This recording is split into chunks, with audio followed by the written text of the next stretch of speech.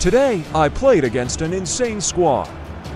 My team surely doesn't stand a chance. Carvajal sets up Rafael for a fluky open score.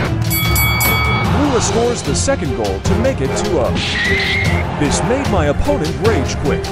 Well played, Dawson.